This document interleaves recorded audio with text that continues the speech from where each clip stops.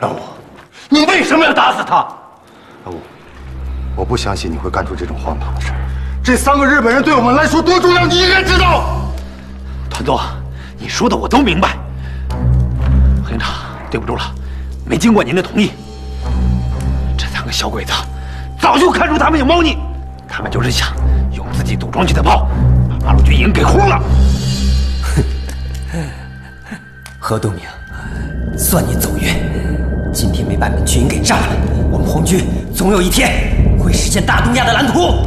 对，他们就是见计划失败，就想把组装区的大炮给炸了，所以说才动手打死一个鬼子。放开他！小飞，小飞，有，把他们身上都搜干净了，给我带下去。是。亏了营长那么相信你们，把他俩给我带下去。走走。二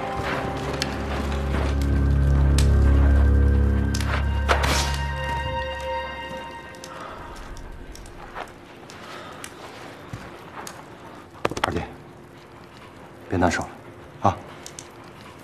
咱们全当这些炮就没缴获过，啊！团座，这几个炮我可以组装起来呀。老五，我可告诉你，这种玩笑不能随便乱开。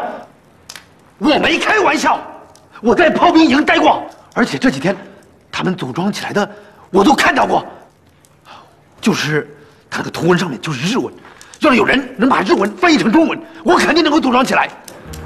这个容易，我在日本待过，我能翻译。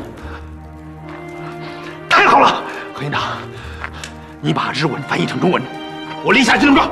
如果说我组装不起来这几门炮，愿受军法处置。行啊，好。这小日本以为咱们离了他们就不行了，哼！咱们中国有的是能人。放心，二弟，大哥，你这急急慌慌的把我叫过来干什么呀？团长，哎，看看吧，啊，这不是咱们缴获的那门炮吗？嗯，组装好了。你的意思是，赶紧的吧？哎呀你这意思能打吧？嘿嘿，试射了一炮，就是啊射程有些短。嘿嘿嘿，射程短不怕呀，这个不重要。我觉得最重要的是咱们可以发展自己的军工，造出自己的炮弹来了。话说回来，得感谢老五。哎，不不不，团长还得多谢何营长啊，是他把小鬼子的图文翻译成中文，这我才能组建起来呀。行了啊，你们二位啊都别谦虚了啊！要我说，这才叫国共合作。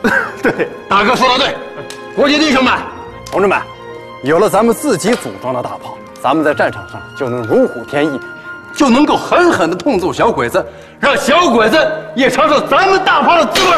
对。